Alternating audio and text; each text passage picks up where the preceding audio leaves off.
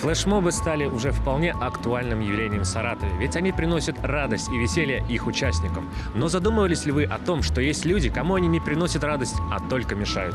Мы решили разобраться в этом вопросе и узнать, есть ли среди жителей нашего города такие люди.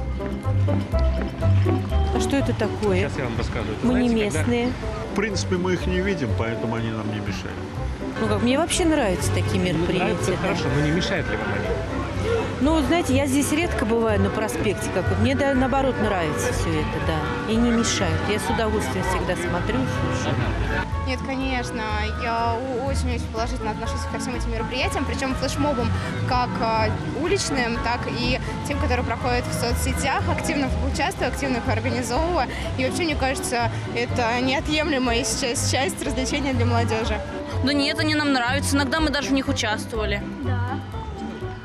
Ну, я когда в лагере был, ну, там у нас был флешмоб на Черном море, мы участвовали. Ты тоже была? Да, да, я с тобой была. Да. Мы с тобой в лагере были. Да, мы с тобой в лагере были. Ну вот, мне очень понравилось, это очень круто. Да. Нейтрально, не мешают. э, Не часто с ними встречаюсь вообще по жизни. Нейтрально относимся к флешмобам, нет, они нам не мешают. Нет, я считаю, это хорошо. Я считаю, это круто. Я бы не сказал, мне не, не- особо ничего не мешает. Я человек такой активный. Ну, вообще, я это приветствую. флешмобы я, я не, не так, чтобы... Меня Бог учит, да? Он все сделал для радости. Чтобы люди видели, чтобы люди любовались. И чтобы за это благодарили. И все, что хорошее есть, оно все от Бога.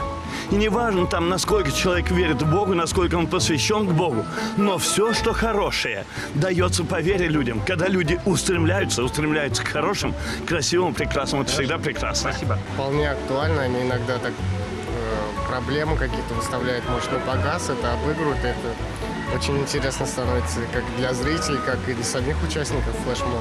Оказывается, не так уж и много людей в нашем городе, кому флешмобы мешают. А это не может не радовать. Либо флешмобы у нас такие спокойные, либо люди такие доброжелательные и терпеливые.